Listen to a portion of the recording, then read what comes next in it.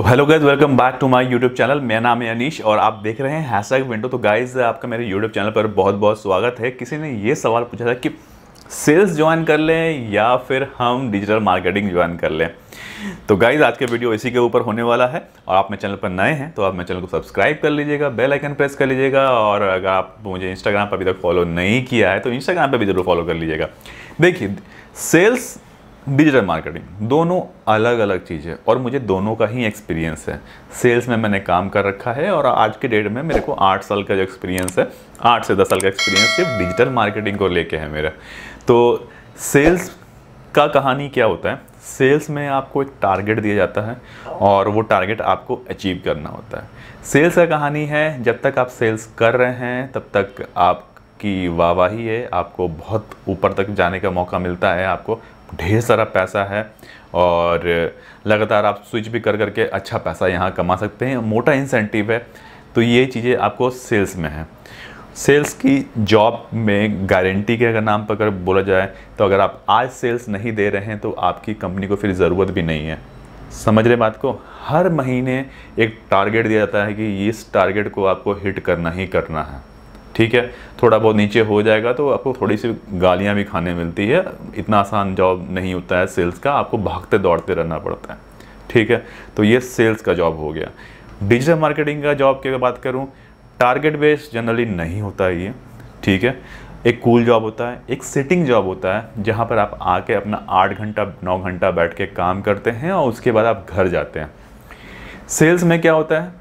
Sales में आपका ना सैटरडे होता है, ना संडे होता है। आपको, समझ लीजिए, सातों दिन आपको भाग के अपने टारगेट्स पूरे करने होते हैं। अगर आपने टारगेट्स एक दिन में कंप्लीट कर लिया तो आप उनतीस दिन कहाँ रहते हैं, कंपनी को कोई मतलब नहीं है। बट लेकिन अगर टारगेट कंप्लीट नहीं हुआ तो आपकी खैर नहीं। ठीक है? ये सेल्स है। डिजिटल मार्केटिंग का कहानी क्या है? एक सिटिंग जॉब जैसे मैंने बताया आपको। सिटिंग जॉब है। आपको कुछ वेबसाइट्स दे दिए जाते हैं, आपको कुछ काम दे दिया जाता है। वो काम आपको परफॉर्म करता है। पैसे के मामले में सेल से नीचे रहता है और आपको एक टारगेट टारगेट तो नहीं, एक काम जो है, वो काम आपको परफॉर्म करना पड़ता है day to day every day Saturday Sunday आपका ऑफ़ रहता है डिपेंड करता है company to company basically Saturday Sunday off होता है। कहीं से तो आपको सैटरडे संडे फ़ोन नहीं आता है कि आपने ये काम नहीं किया, ये काम आपका बाकी, ये टारगेट है, आपका आपने हिट नहीं किया। तो सैटरडे संडे आपका पूरा तरह से आपका होता है और ऑफ़िस से निकलने के बाद आपको ऑफ़िस से भी कॉल नहीं आता है। ये डिजिटल मार्केटिंग है। अगर आप सोच रहे हैं कि आराम से ज़िंदगी एक चाहिए, जो एक लिमिटेड पैसा मिले मुझे और मेरा जॉब सेफ़ रहे, आराम से ज़िंदगी कटे तो डिजिटल मार्केटिंग की तरफ़ आप मूव कर सकते हैं। अगर आपको लगता है कि नहीं, मेरे को बहुत सारा पैसा चाहिए, जल्दी चाहिए, डांट खा लूँगा, गालियाँ खा लूँगा तो आप सेल्स की तरफ़ जा सकते हैं। ठीक है, दोनों डिफरेंट प्रोफ़ाइल है।